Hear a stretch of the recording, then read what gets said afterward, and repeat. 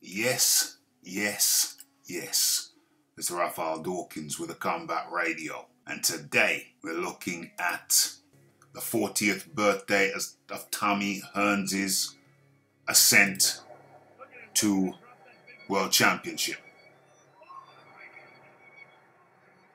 Dang, dang, dang.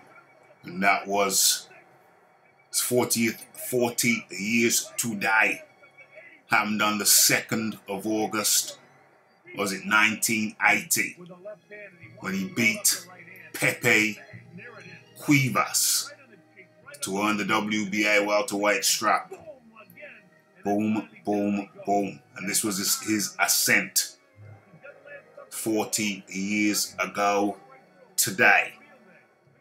Let's just catch the splendor. Catch the splendor. Boom, boom, boom. So we just celebrating. Too often, too many times, we forget about those great moments. Some of you may have never have seen this, but that's why you tuned in to Raphael Dawkins Combat Radio. We don't forget what others have forgotten. Tommy Hearns, Pipino Cuevas, 1980.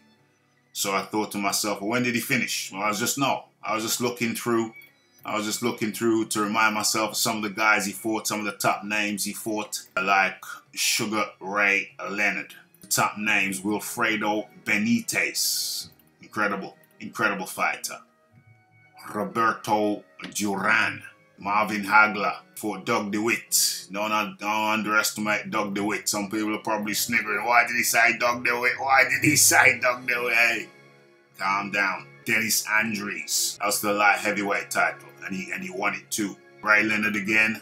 Iran Barkley knew his way around the ring. Virgil Hill knew his way around the ring and uh, kept on going and going and going and going and going until I came to his last fight in 2006. And that led me to question, well, what was the date of his first fight? So we scrolled down and found it was 1977. The man had a career that spanned 30 damn years. 30 damn years. Now, let's get this right. If you have a career where you become a multiple world champion, multi-weight, multiple world champion, you got some of the top handlers in the game. There is no way that you should be in the ring for 29 years as a professional.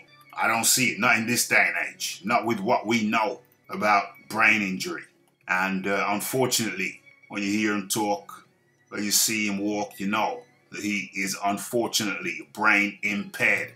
But how could you not be brain impaired if you had, if you spent 30 damn years in the professional ring? It's beyond belief. 2006, that's when he stopped. 1977 is 29 damn years. OMG. Why was Tommy Hearns in the ring for 30 damn years? It's Raphael Dawkins. It's the Combat Radio. It's the Have Your Say. It's the happy 40th anniversary. Should have got out the ring quicker. It's Raphael Dawkins, the Combat Radio. And I'm out.